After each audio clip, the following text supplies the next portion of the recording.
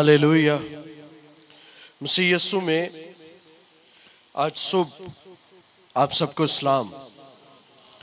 शुक्रगुजारी खुदावन की करते हैं जो भला है और हमेशा अपने लोगों के साथ वफादार रहता है। आमीन।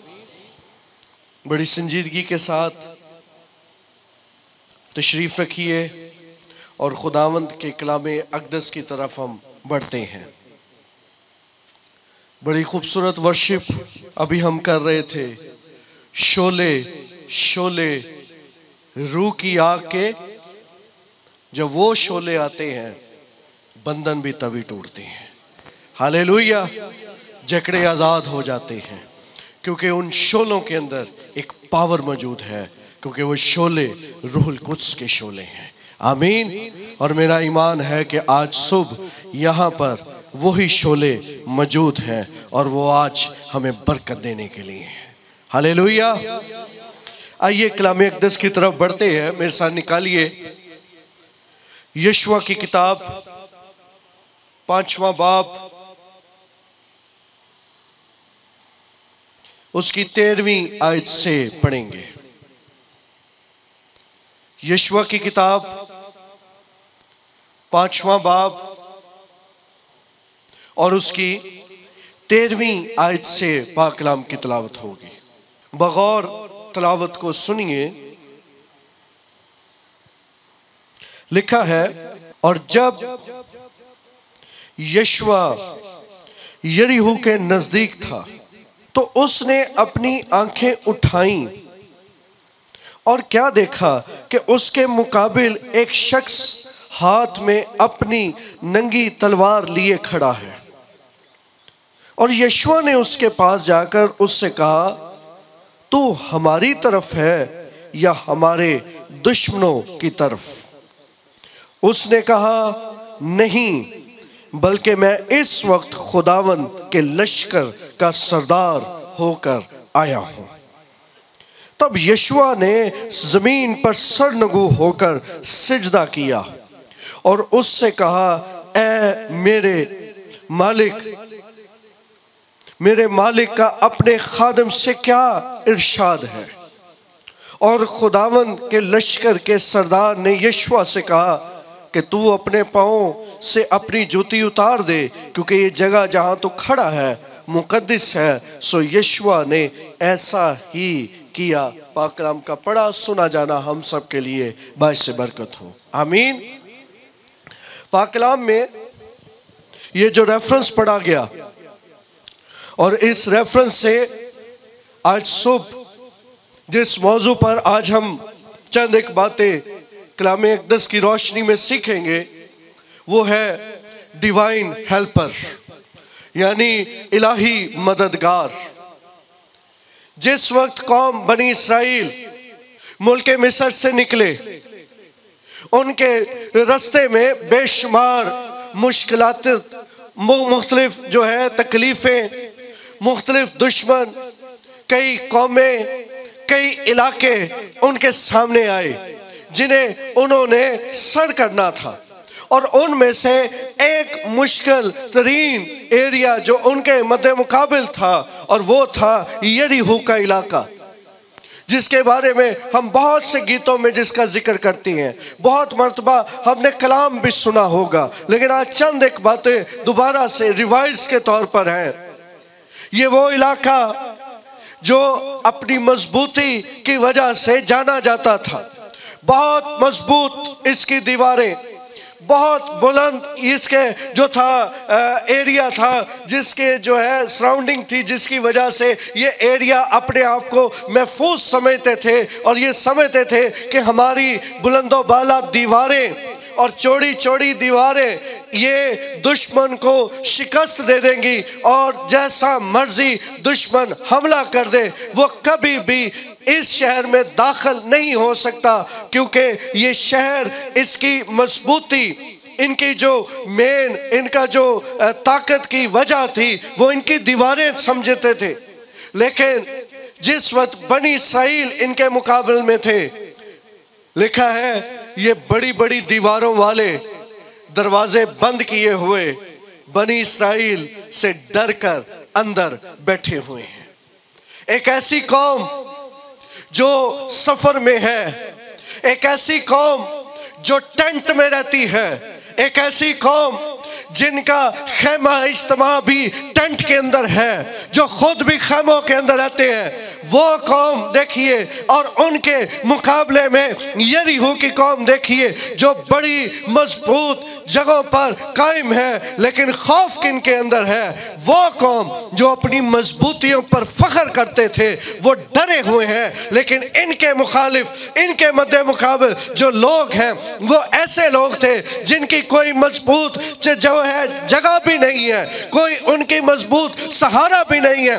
टेंटों में रहने वाले, सहराओं में सफ़र कर रहे हैं बेअबानों में से गुजरे हैं, लेकिन इनकी मजबूती की वजह कोई दुनियावी चीज़ नहीं है, बल्कि इनकी मजबूती की एक बड़ी वजह थी, और वो वजह ये थी कि इनके साथ इनका डिवाइन हेल्पर इलाही मददगार, इनके साथ साथ चलता था, और जब वो साथ साथ चलता था, कौमें शिकस्त पाती जाती थी, क्योंकि इस का फखर और इस कौम का मददगार खुदा इनके साथ चलता था।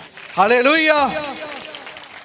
गौर कीजिए, बड़ी दीवारों में, पक्के मकानों में रहने वाले, वो डरे हुए हैं, लेकिन वो कौम जो सफ़र कर रही है, उसकी दहशत ज़्यादा है। और इनकी दहशत की वजह क्या थी? क्योंकि इनके साथ इनका डिवाइन हेल्पर था। आमीन। आप चाहे जैसे मर्ज़ी हालातों में हो, याद रखिए, अगर डिवाइन हेल्पर आपके साथ मौजूद है, अगर इलाही मददगार आपके साथ मौजूद है, आप जैसे मर्ज़ी हालात में क्यों ना हो, याद रखिए, अगर इलाही मदद आपके साथ है, आप हमेशा दुश्मनों पर फतह पाएँगे। हालेलुया। क्यों? क्योंकि हमारी फतह हमारे ज़िंदा खुदा की वजह से है। इससे पेशतर कि ये फतह पाने के लिए आगे बढ़ते। इससे पेशतर कि ये कोई तलवार चलाते, कोई भाला, कोई और टेक्नोलॉजी का इस्तेमाल करते।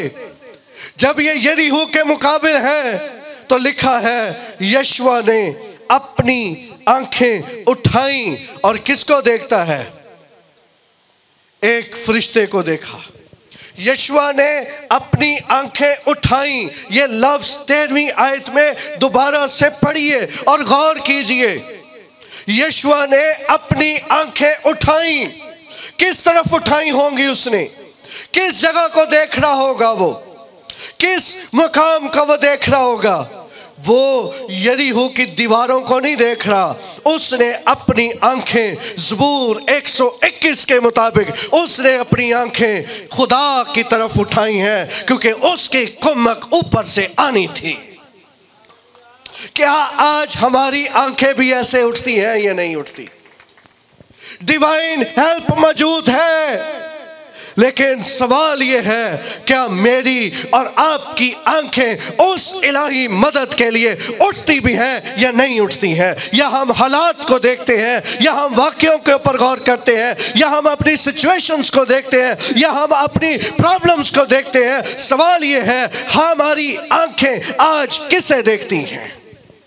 बाइबल में लिखा है, एक वक्त ऐसा आया जब मूसा कौम बनी इसराइल को लेकर निकला और मिस्री फौज उनके मुकाबले आ गई, लिखा है, मूसा ने भी कहा डरो मत, चुपचाप खड़े रहो और खुदा का जलाल देखो। जिन मिस्रियों को आज तुम देखते हो, इन्हें आज के बाद तुम नहीं देखोगे, क्योंकि तुम्हारी हेल्प के लिए डिवाइन फेवर आ गई है और इसी सबब से वो सब के सब समुद्र में गर्क हो गए। लेकिन कौम बनी इसराइल, जिनका रखा, जिनका मददगार, आसमानी खुदा था, वो उसी समुद्र में से पार गुजर गए, क्योंकि उनके साथ उनकी इलाही मदद थी। हालेलुया। आज हमारी आँखें किस तरफ़ हैं? आज मैं बात करना चाहता हूँ दौरे हाजिर के मुल्क, पाकिस्तान के हालात पर। आज एक तरफ़ महँगाई है, चीज़ों के शॉर्टेज है, काल है। हालात जो है, वो बहुत ही जो है भयानक सूरत हाल रोज बरोज अपनाते जा रहे हैं। इंसान सोचता है, हमारा क्या बनेगा? हमारे लिए क्या कुछ होने वाला है? कैसे हालात होंगे?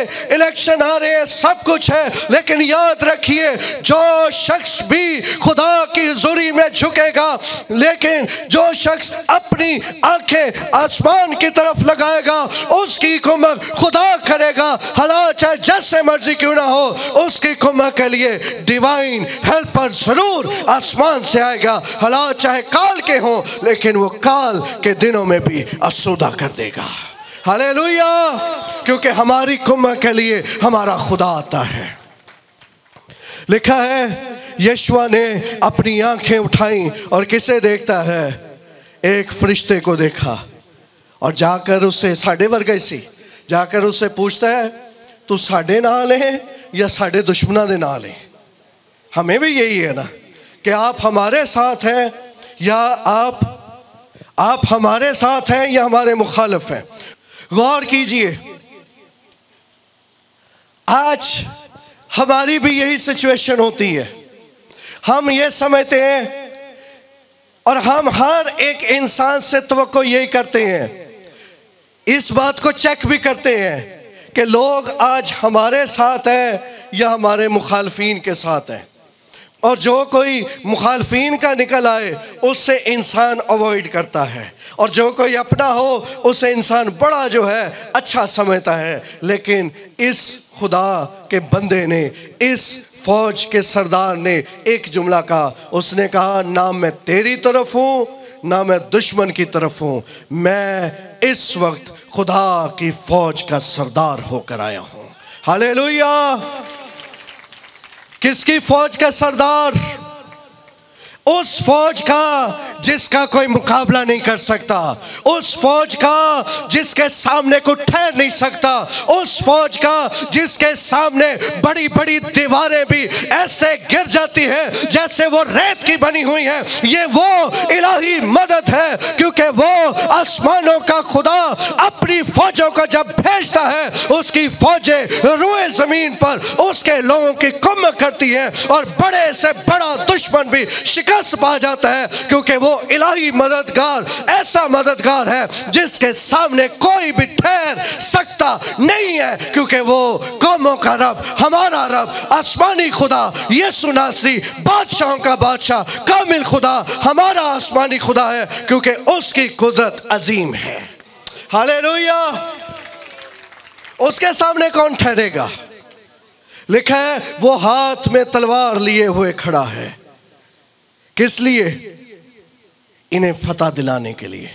और आज जो मैसेज, जिस ख्याल के ऊपर मैं ज़्यादा ज़ोर देना चाहता हूँ डिवाइन हेल्पर उस वक्त नहीं आता जिस वक्त इंसान लड़ रहे थे, ये ये यशवा लोग लड़ रहे थे।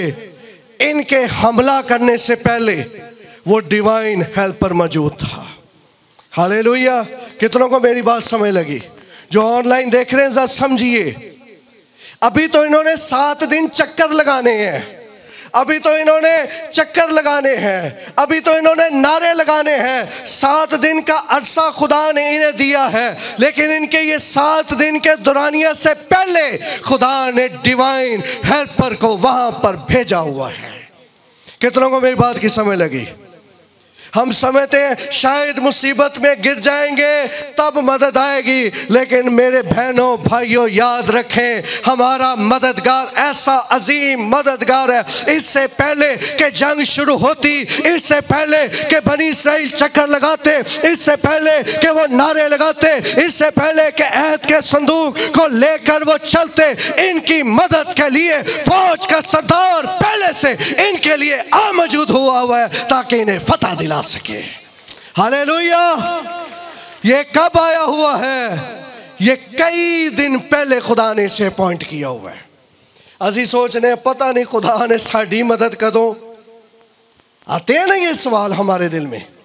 पता नहीं खुदा ने साड़ी कदों सुननी है। और देखिए, जो ऑनलाइन देख रहे हैं, उनसे भी मैं मुखातब हूँ। देखिए, खुदा इलाही मदद को उस टाइम पर भेज देता है, जब इनके वहमो गुमान में भी नहीं है। अभी तो ये शहर को देख रहे हैं, अभी तो ये बड़ी बड़ी दीवारों को देख रहे हैं। लेकिन खुदा इनकी कुम करने के लिए फौज के सरदार को पहले से उसने भेजा हुआ है।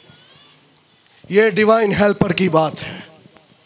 इसी तरह से, अगर मैं आपकी तवज्जो, सदरक, मिसक अबन नजू के वक्त पर लेकर जाऊँ, आप ख्याल कीजिए, सोचिए कि जिस वक्त सदरक, मिसक अबन नजू आग की भट्टी में डाले जाने थे, मदद बाद में आई या मदद पहले मौजूद थी?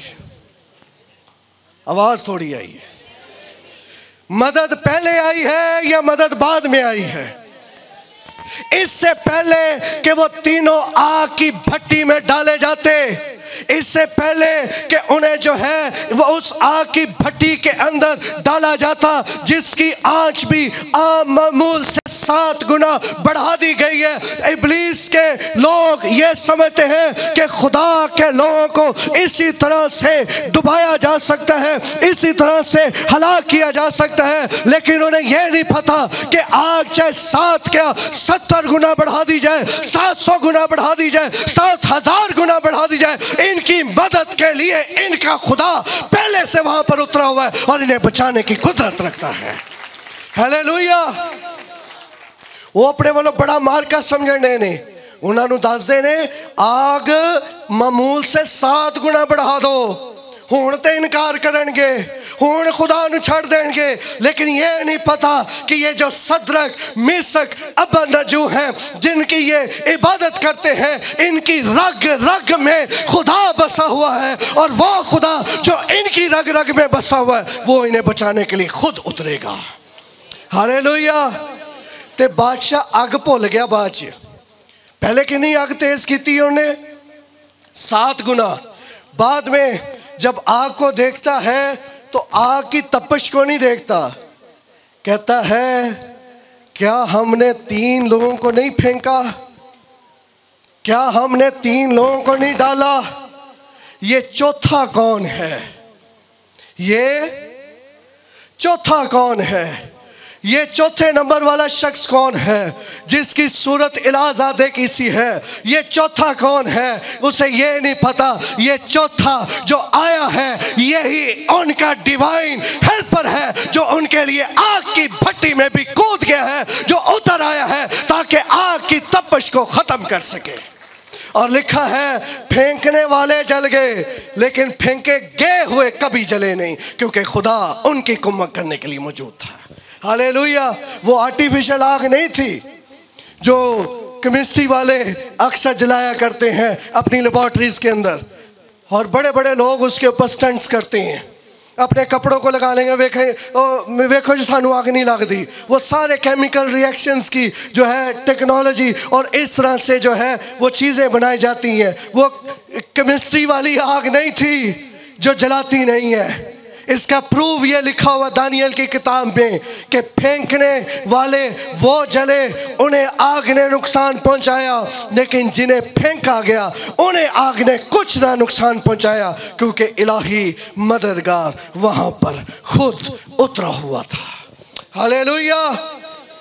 और आज सुबह, इस संडे सर्विस में, जो ऑनलाइन देख रहे हैं, जो यहाँ पर मौजूद हैं आप सबको भी कहना चाहता हूँ, हम जो यहाँ पर इबादत कर रहे हैं, हम अकेले नहीं हैं, बल्कि हमारा डिवाइन हेल्पर भी आज यहाँ पर मौजूद है।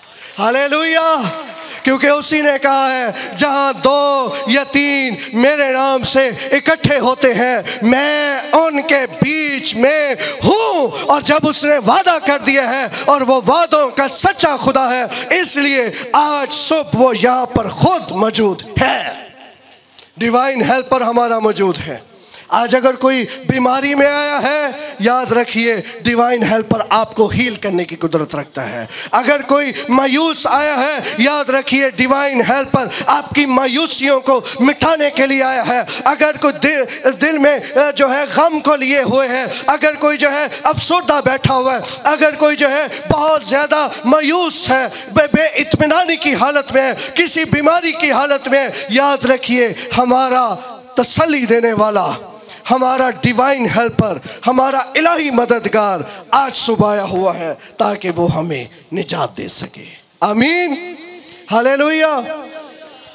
आइए दोनों हाथों को उठाकर, लहराकर उस डिवाइन हेल्पर को शुक्रगुजारी कीजिए। हालेलुया। उसे वेलकम कीजिए और जोरदार तालियाँ उस डिवाइन हेल्पर के लिए।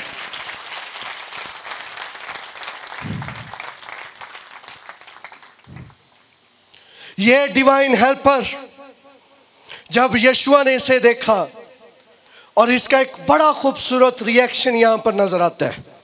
लिखा है, चौदहवीं आयत को पढ़ने लगा हूँ, उसके दूसरे हिस्से पर। लिखा है, तब यशुआ ने ज़मीन पर सरनगु होकर सिजदा किया। यशुआ ने क्या किया? सरनगु होकर, शायद ये हमारे लिए कोई आसान बात हो। लेकिन एज ए जूश यहूदी के लिए सिजदा किसी भी आम हस्ती को करना यह इंतहाई मुश्किल बात थी। और यशुआ जैसे शख्स के लिए, जो मूसा का शगिर्द, और मूसा जिस पर खुदा ने अपने दस अहकाम को नाजल किया, और दस अहकाम में एक हुक्म यह था कि तू किसी दूसरे को सिजदा, तू मेरे हजूर किसी गैर मबूद को ना मारना, ना उनको सिजदा करना। और ये उसी मूसा का शगिर्द है। इनके लिए सिजदा किसी को करना, ये इंतहाई मुश्किल काम था। ये ऐसे ही है, जैसे कि ये एंड पॉइंट है। किसी को अगर सजदा कर दिया जाए तो ये समझ लीजिए कि ये जूश का सबसे लास्ट पॉइंट होगा। सजदा नहीं थे वो करते। और जब जब इन्होंने गैर मबूदों को सिजदे किए चाहे वो बाल हो, चाहे वो ये सीरत हो, जब इन्होंने सिजदे किए, तब तब खुदा का गजब भी इन पर भड़का। क्यों? क्योंकि खुदा ने इन्हें मना किया था तो उन्हें किसी को सिजदा नहीं करना। और ये समझ लीजिए, ये एंडिंग पॉइंट था कि अगर कोई शख्स खास तौर पर यहूदी किसी को सिजदा कर जाए, इससे कोई और बड़ी भयानक बात नहीं नज़र आती। लेकिन इसने यहाँ पर सिजदा किया। और सिजदा किया और फिर ये जीता रहा। सिजदा करने के बाद ये मरा नहीं। ना ही इसके बारे में कोई कुफर जो है लिखा गया या इसको जो है नेगेटिव लिखा गया। क्यों? क्योंकि ये सिजदा इस बात की अक्सी करता है कि ये उस सरदार को हकीकी तौर पर जान गया जिससे आज हम वाकिफ हैं। जिससे आज हम और आज हम किससे वाकिफ हैं? आज हम किसके नाम से फतह पाते हैं? और ये समझ गया कि ये किसका भेजा हुआ है? ये यीशु का भेजा हुआ है। ये कादर मुतलिक खुदा की तरफ़ से भेजी गई रही मदद है। ये कोई और नहीं है, ये बल्कि ये खुदा की मदद है। इसलिए जब वो सिजदा करता है तो इसे आगे से एक पैगाम मिला। और पैगाम क्या मिला कि अपने पाँव से क्या उतार दे?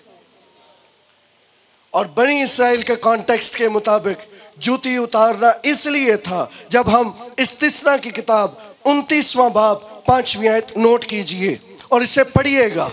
इस आयत के मुताबिक ये जो जूती और ये कपड़े थे, ये पुरानी शख्सियत की इलामत थी।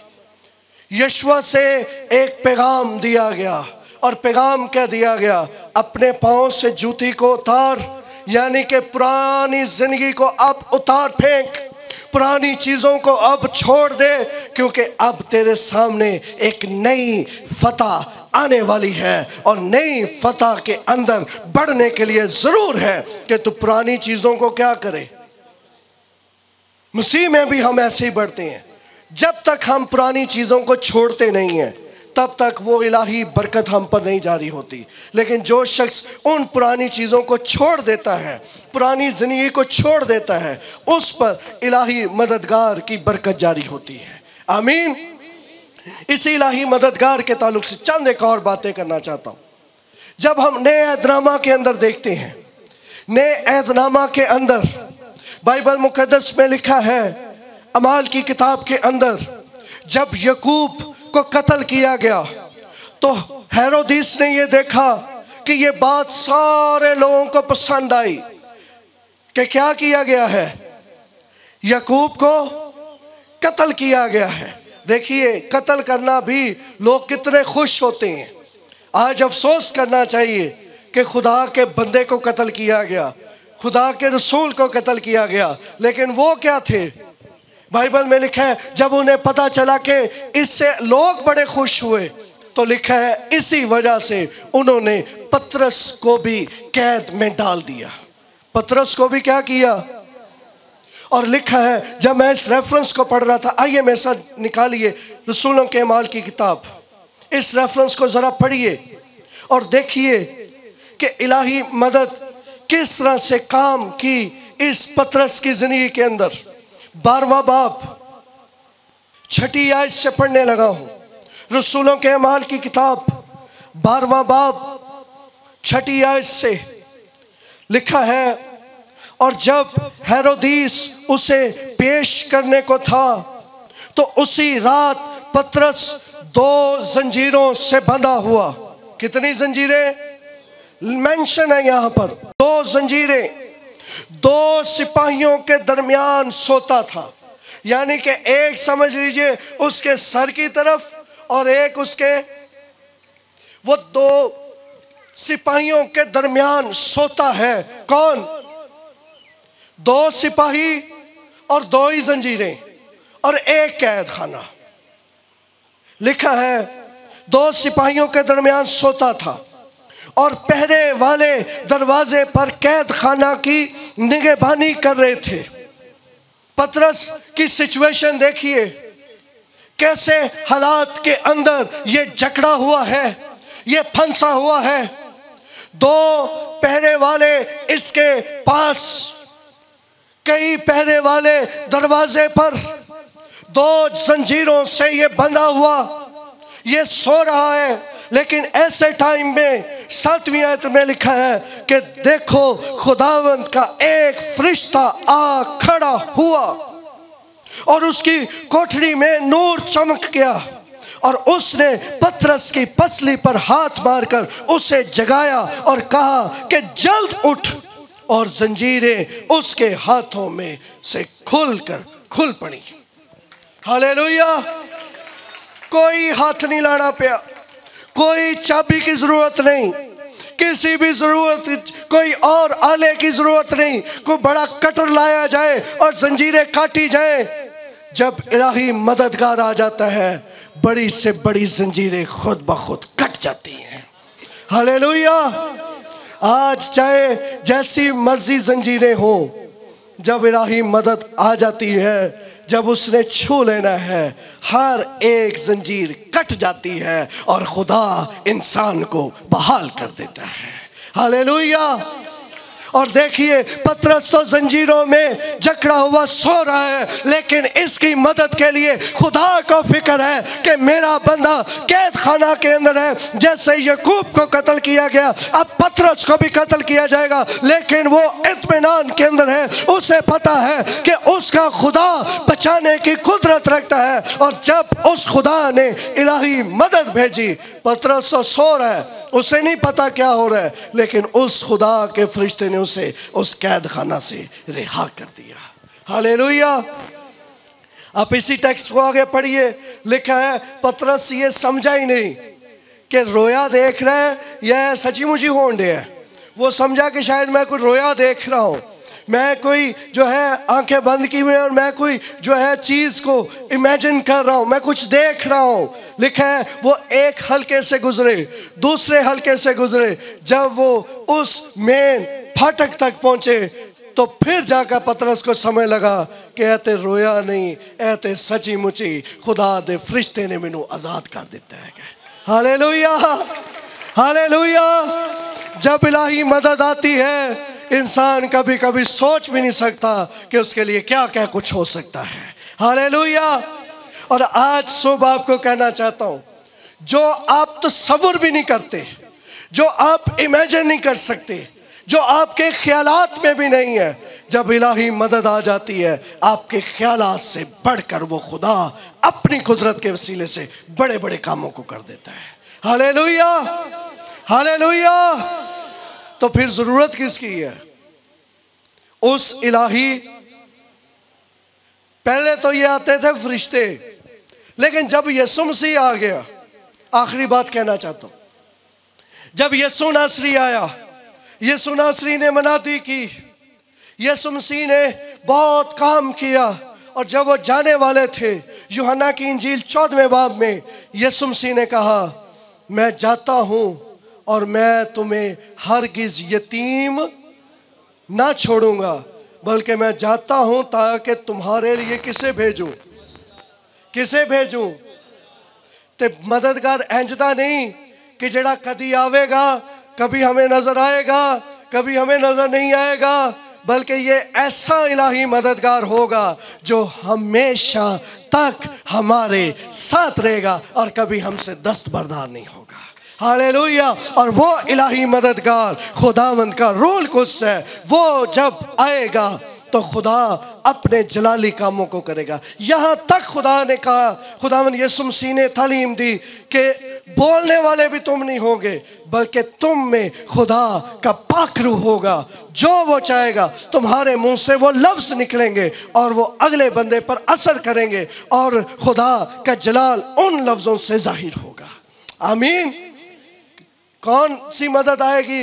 एक है इलाही मदद और एक है दूसरा मददगार। ये दोनों आज रूहल कुस की सूरत में कलिसिया को बख्शे गए हैं। आज हमारे लिए इलाही मददगार के तौर पर खुदा ने रूहुल कुस को भेजा है, जिसकी जुम्बश यहाँ पर होती है। आपने वर्शिप में, कलाम में इन बातों को देखा होगा, महसूस किया होगा। रूहुल कुस ने आपको छुआ होगा और मैं ईमान रखता हूँ कि जब रूहुल कुस हमें छूता है हमारी एक्सपेक्टेशन से ज़्यादा खुदा अपने जलाल को ज़ाहिर करता है। आमीन। हालेलुया। और जब रूह को छूता है, जकड़े भी आज़ाद होते हैं, लंगड़े भी चलते हैं बहरे भी सुनते हैं, अंधे भी देखते हैं, यहाँ तक के मुर्दा हड्डियों के अंदर भी ज़िंदगी आ जाती है, क्योंकि ये इलाही मदद हमारे लिए आ जाती है। हालेलुया। और आज ये इलाही मदद आज सुबह यहाँ पर मौजूद है। आमीन। इसलिए मैं ये कहना चाहता हूँ, ये रस्मी सा कोई जुमला नहीं है। ये मैं दिल से ये कहना चाहता हूँ, आप सब खुदावन के मुबारक लोग हैं, क्योंकि आज आप उस जगह पर हैं जहाँ पर इलाही मदद आती है। हाले आप उस जगह पर नहीं है जहाँ से खुदा नाराज़ होकर चला जाता है। आप उस जगह पर है जहाँ पर वो मदद करने के लिए खुद उतर आता है। हालेलुया। ये वो हौज नहीं है जिसके लिए साल भर वेट करना पड़ेगा कि वो हिलाया जाए और शिफा मिले, बल्कि ये वो जगह है जहाँ पर एक नहीं, बल्कि सैकड़ों, हज़ारों मरतबा लोग शिफाए पाते हैं और बरकते पाते हैं, क्योंकि ये इलाही मदद का दरिया है। यहाँ से कोई भी खाली नहीं जाएगा। हालेलुया। इसलिए आपको कॉन्ग्रेचुलेशन कहना चाहता हूँ कि आप बिल्कुल दुरुस्त जगह पर मौजूद है, क्योंकि यही वो जगह है जहाँ से इलाही मदद जारी होती है। आमीन। हालेलुया। आए अपने सरों को झुकाएँ। खुदा उनकी जुरी में दुआ करें और अपनी जिंदगियों के लिए इलाही मदद मांगिए। जो भी आपका एरिया है, जिस जगह पर आप समझते हैं, मैं वीक हूँ। जिस जगह पर आप समझते हैं, मेरी प्रॉब्लम्स हैं। मैं, मेरी ज़िंदगी के अंदर रुकावटें हैं, मुश्किलें हैं। आइए उन तमाम जगहों के लिए दुआ कीजिए, इलाही मदद मांगिए, कहिए ए रूह पाक, आज मुझे छू ले ए रूह पाक, मेरी कुमक कर। ए रूह पाक, मेरी मदद कर। ए रूह पाक, तू मुझे छू ले मुझे ज़रूरत है तेरी, और मैं चाहता हूँ कि तू मुझे छू ले हाले अगर आप चाहते हैं कि आप 24 घंटे खुदा के खादिम पास्टर शहजाद के साथ रबते में रहें और खुदा का खादिम आपके लिए दुआ करे तो आप हमारे इस यूट्यूब चैनल को, जो कि पास्टर शहजाद सदीक ऑफिशियल के नाम से है, इसे सब्सक्राइब करें और बेल आइकन को भी प्रेस करें। God bless you all.